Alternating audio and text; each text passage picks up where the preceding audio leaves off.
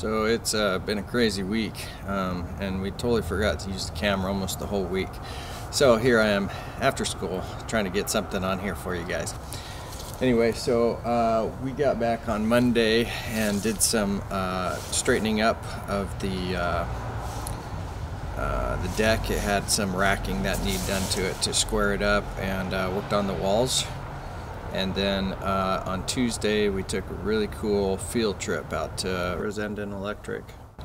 And uh, man, they just uh, they did a lot for our students. It was pretty cool. They um, had a whole field trip uh, tour of their plant, and then uh, they had some donuts and really good lunch. And then they helped the kids learn how to wire a circuit. Um, gave them some vests and some gloves, hard hats, uh, really outfitted them, and uh, several of my kids really got inspired in it. And uh, my kids, uh, several of the students got inspired in it, and uh, they're interested in, uh, definitely interested in going into that. So definitely a really good field trip. So thank you to Rosendin Electric for that. and then Wednesday, Thursday, Friday, we worked on design elements. we talked about um, stairs a little bit more and we started cutting out the stairs for the inside um, so we can build an addition and our addition in the basement for the bathroom. On Wednesday, uh, we also talked about uh, the careers that the kid, the students might want to go into, and what ways we can uh, better help them. So whether or not we should bring in some more guest speakers, more field trips, uh, stuff like that. So next week, uh, should be pretty good um, right before winter break. Got a lot of work to do. We'll see what happens. I don't even know what week it is. Here we go.